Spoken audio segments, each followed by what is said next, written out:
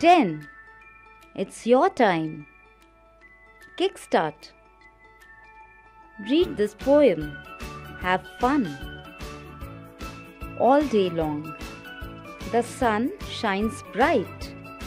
The moon and stars come out by night. From twilight time, they line the skies and watch the world with quiet eyes. The sun rises in the east. It is morning time and the day begins. When the sun is directly overhead, it is noon time.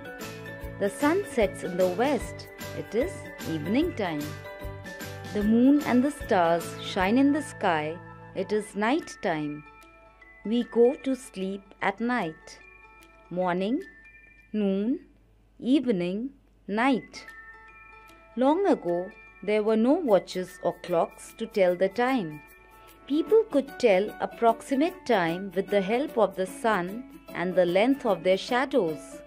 But now we have watches and clocks to tell the time hours, minutes, and seconds. A clock has a face and three hands. The shortest hand is hour hand, and the large one is minute hand.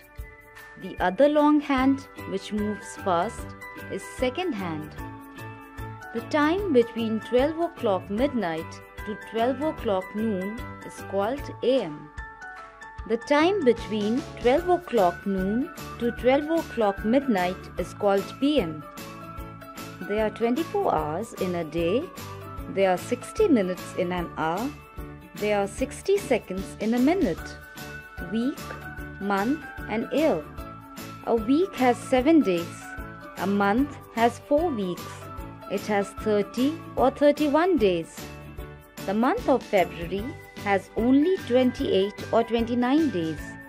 There are 12 months in a year. In a normal year, there are 365 days.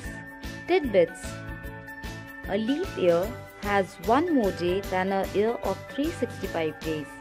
It comes once in every four years. Looking back, the sun rises in the east. It is morning time and the day begins. When the sun is directly overhead, it is noon time. The sun sets in the west.